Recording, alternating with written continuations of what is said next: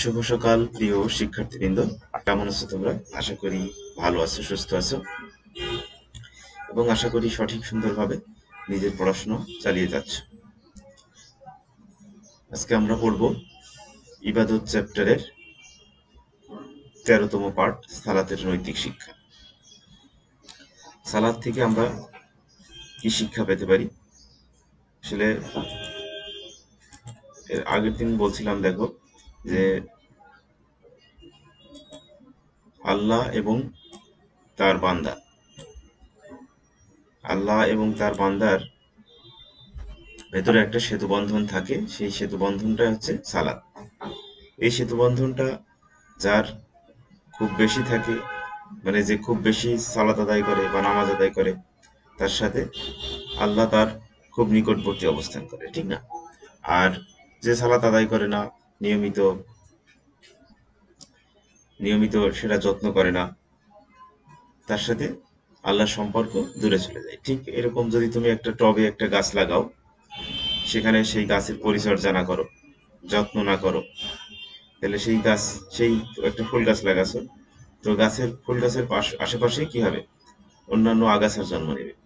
তাহলে একটা সম্পর্কেরও যত্ন নিতে হয়।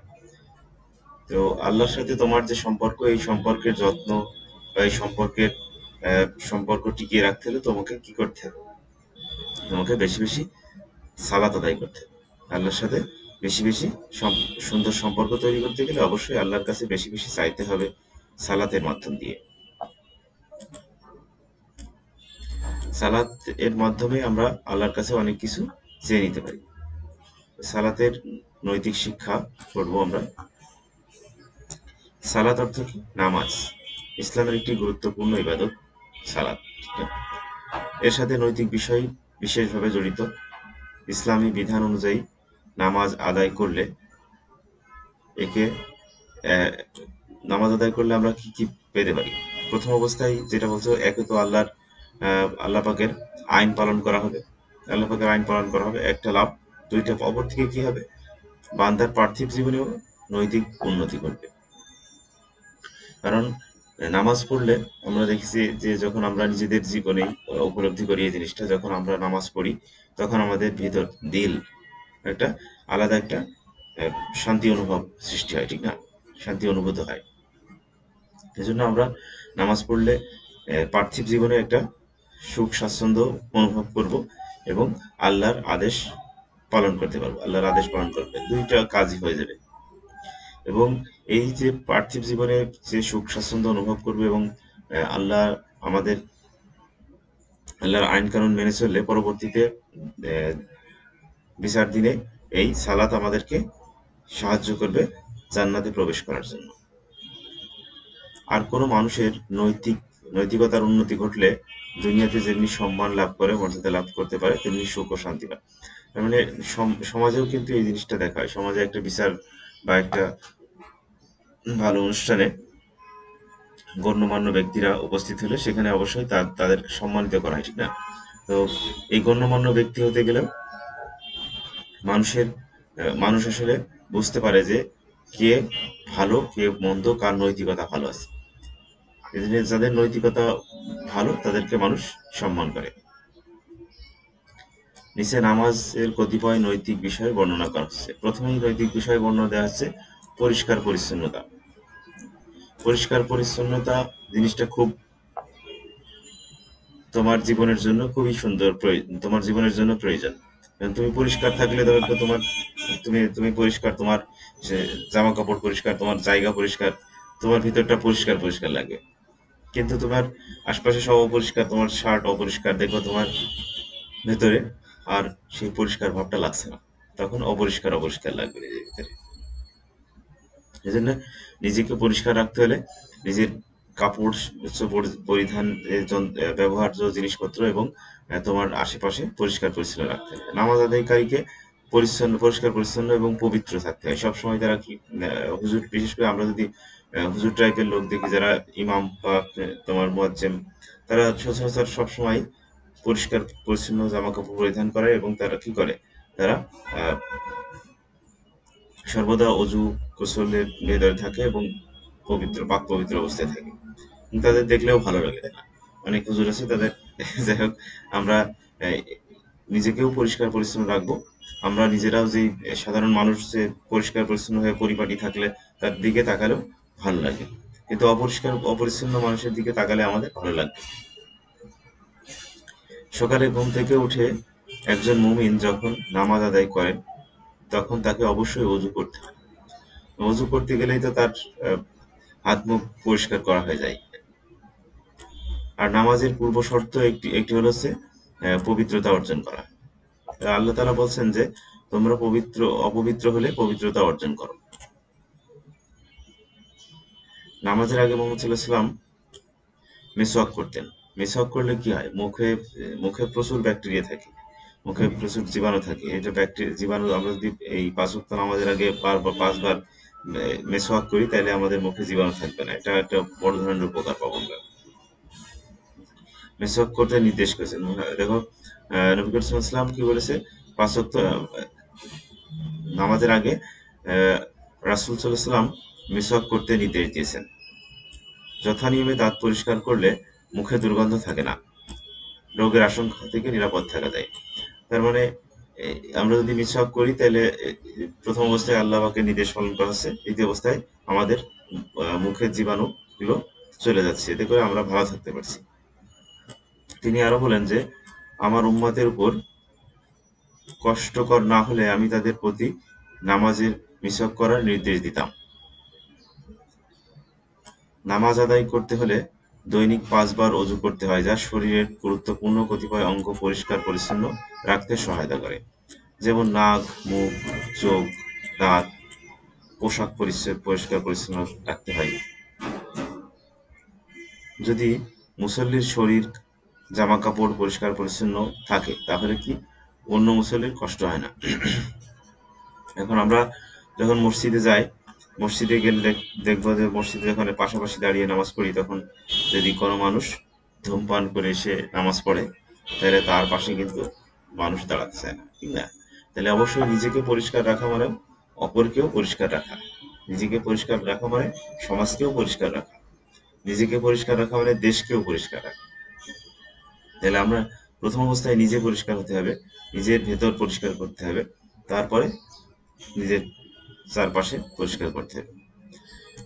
বরং সুন্দর ও সুস্থ মন নিয়ে একে অপরের সাথে দাঁড়াতে স্বাচ্ছন্দ্য বোধ করে। যখন আমরা জামাতে দাঁড়াই, তখন একজন আর একজন সাথে কাতারবদ্ধ হয়ে দাঁড়ায়। তখন আমার শরীরে গন্ধ থাকলে আমার পাশের লোক বিব্রত বোধ করবে।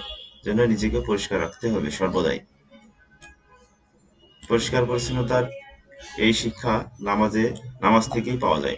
তুমি পরিষ্কার পরিচ্ছন্নতা নিয়ম অনুবর্তিতা পরিষ্কার পরিচ্ছন্ন পরবর্তীতে নিয়ম অনুবর্তিতা আমরা পরিষ্কার, পরিচ্ছন্ন থাকতে পার থাকতে পারব, আশা করি, এবং সর্বদা চেষ্টা করব পরিষ্কার, নিজেকে পরিষ্কার, পরিচ্ছন্ন রাখার।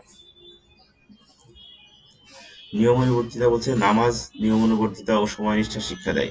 কারণ কি, নামাজে আমরা দেখে আসছি যে নামাজের একটা নির্দিষ্ট সময় আছে।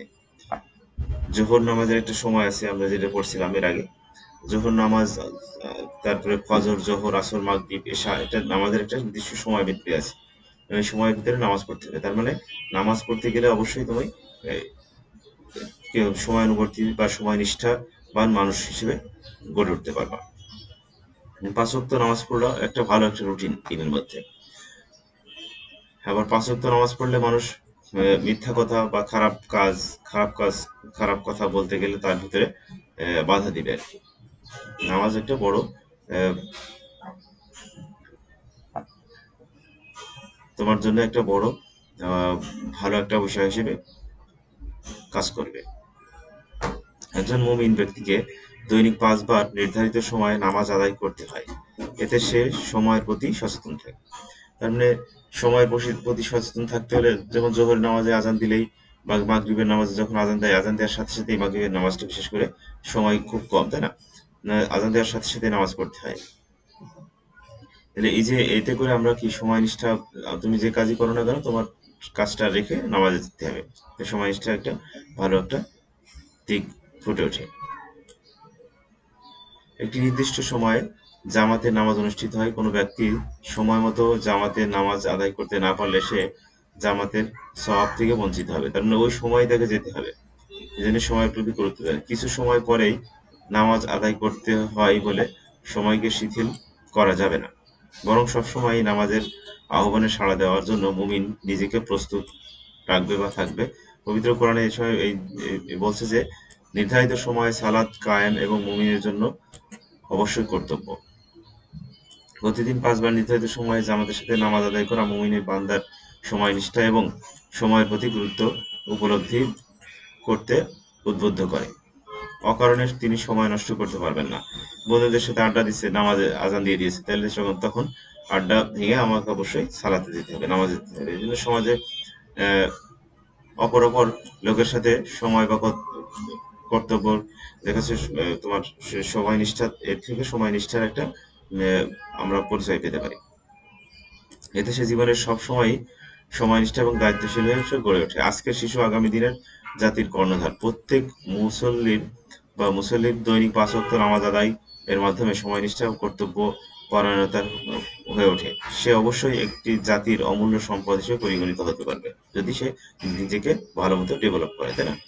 সময় মতো নামাজ আদায় করা মাধ্যমে একজন মুসলিম তার কর্ম কর্মস্থলেও যথাসময়ে কর্তব্য পালনে আগ্রহী হয় আর কি আমি যদি ঠিকঠাক নিজের কাজটা করতে পারি, নিজের কাজ, নিজের নামাজটা ঠিক সময় পড়তে পারি, তাহলে আমার অফিস আওয়ারেও আমি অবশ্যই আমার চিন্তা থাকতে হবে, এই টাইমের ভিতরে যেতে হবে তাহলে সমস্যা সে কোনো কাজ আগামী দিনের জন্য ফেলে রাখে না, বরং ওই যে যে দিনের নামাজ একদিনে পাঁচ পাঁচ দিনের নামাজ একদিনে পড়া যায় না।